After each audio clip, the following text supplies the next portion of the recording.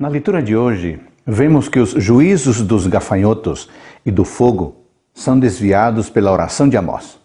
Além disso, o profeta mostra o muro levantado com um fio de prumo, cujo significado é a rejeição de Israel. No versículo 10, o sacerdote Amazias se queixa de Amós.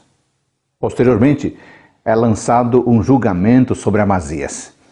E no verso 14, o profeta fala de sua identidade e de sua vocação. Em duas ocasiões na leitura de hoje, é dito que o Senhor se arrependeu. O que isso significa? Nós, seres humanos, nos arrependemos do mal, do pecado que, que cometemos, do pecado que praticamos.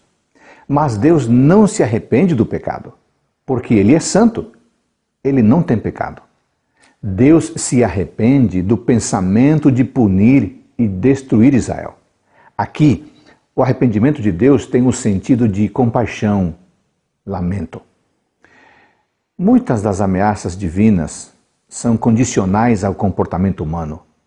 E quando as ações humanas mudam, Deus pode mudar seu pensamento. É disso que estamos tratando aqui com a palavra arrepender-se, aplicada a Deus. No verso 14, o profeta diz com ousadia: Eu não sou profeta. Assim afirmando, Amós nega a insinuação de Amazias de que ele era um profeta profissional, ganhando a vida mediante a profecia. Amós diz que é profeta porque Deus o chamou. Finalmente, no verso 16, Amós diz a Amazias: Ouve. O profeta fala com ousadia. Por quê?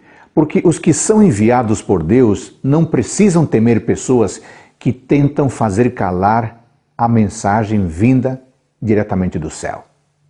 Hoje, fale do amor de Deus às pessoas sem medo.